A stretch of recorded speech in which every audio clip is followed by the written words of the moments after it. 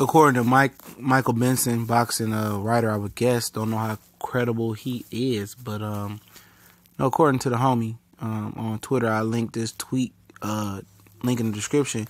Says that Demetrius Andrade and um, Sergey Shevchenko has ag- have agreed to a fight. You know, the kicker is they don't know if HBO wants to pick up the fight or not. So we back. It's the Boxing Clinic and more. Y'all know what it is. Shout out to the Lions Den Box Community, LDBC. Shout out to YTBC and everybody in between. And it's crazy because this was a fight that apparently HBO was supposed to be pushing before. So I don't know if they they on the line, they on the fence about picking up the fight or not. But they got three fights invested in Andrade. Um, I don't think they have anything invested in Shevchenko. Shevchenko was a is a Premier Boxing Champions fighter, but you know the end of the last year they just wanted Andrade to turn around and face um, Shevchenko on the Billy Joe Saunders David Lemieux card after beating Alantez Fox down. But Boo Boo said he was dealing with an injury or whatever. And um, so now talks have, you know, come back up. I was wondering, we did a video about what's going on with Boo Boo, and it looked like, um, you know, he's one fight Shevchenko, you know, so he's going to try to, you know, prove himself and beat this guy, 2008 Olympian with only 12 victories. He got like 10 or 11 knockouts or something like that. And, you know, Boo Boo showing that, you know, he's more than the fraud that we thought he was. And he finally gonna walk the plane. I understand why he didn't want to fight this guy or what was the uh the talk about he didn't want to fight this guy in the beginning because this guy only got twelve fights, but he's the IBF number one. He wants to put himself in position for the Triple G Canelo winner. Um why not fight the IBF mandatory because that belt is on the line and then you would have some say so in if you could fight him or not. Or possibly at least get some step aside money out the deal. We know we know Andrade loves not to fight. And then what's better than uh, not fighting and getting paid not to fight? So, you know, so it makes sense for him to jump in this, jump in this fight. Um, I haven't seen a lot of Shevchenko. I know he beat Tureano Johnson. Uh, I know he's a 2008 Olympian. He's trained by Andre Rozier, same guy who trains Danny Jacobs. And they call him the technician. So, um, yeah, it's just, you know, you know, good Olympian versus good Olympian here. And um, and Andrade's, uh, you know, time as a boxer, there's a lot of fights we wanted to see that didn't happen. He put out the Jermell Charlo fight, and he put up on Jermall Charlo. That fight didn't happen. The Erislandy Lara fight didn't, didn't happen.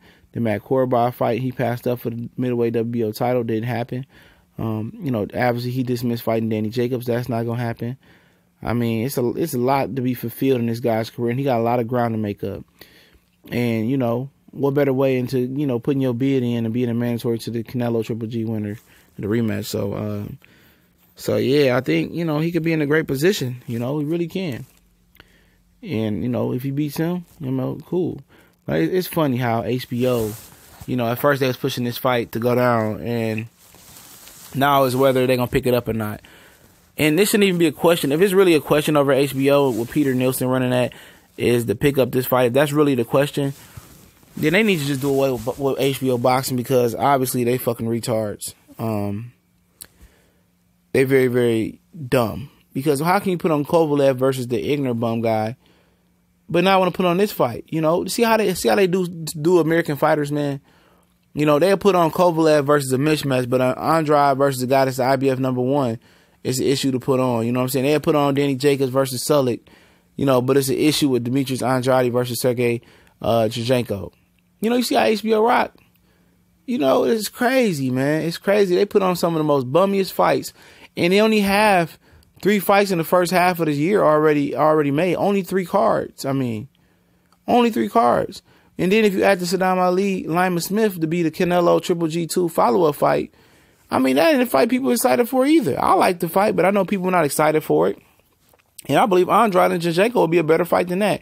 So now HBO is going to invest a three fight deal in Andrade, and then he got a formidable opponent that he could be number one in the IBF, and potentially you could segue that into the Canelo Triple G winner at some point in a rematch.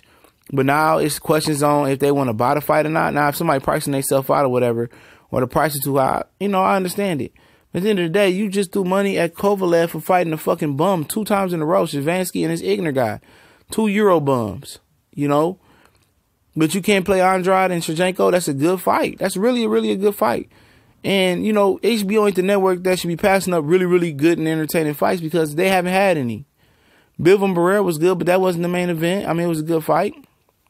You know, we got, you know, Cheeseburger Miller, Drew Baby Miller versus Johann Duhaupas. Who, who really cares about that fight? I mean, shit, they didn't get the Anthony Joshua Joseph Parker fight neither.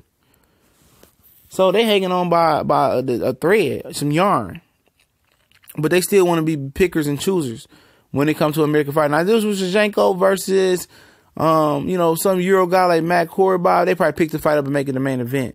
I'm trying to tell you guys, it's a biasness with, with HBO and American fighters. It really is. It's a disconnect there.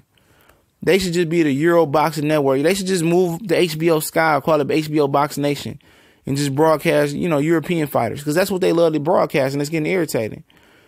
If they don't pick up this fight, man, you know, HBO is is is dead. B they dead. B on my TV. I don't even get HBO, man. You know what? Fuck HBO, man. If they don't pick this fight up, Peter Nelson is a, is a ding dong dumb bitch motherfucker, man. You know, he is that even if he pick up this fight and don't pick up the fight. He's one of the dumbest motherfuckers in boxing. And I and I agree with Bob Arum on that. That motherfucker's a fool. This shouldn't even be a question. You should be picking this fight up. You don't got a lot of fights out there for HBO. You know, if they gonna put on these shitty ass cards, just don't show boxing no more. You know what I'm saying? Just kill it because this is a fight that's worthy to be put on that pedestal and be a main event, or at least a co-feature, but really a main event. We gone.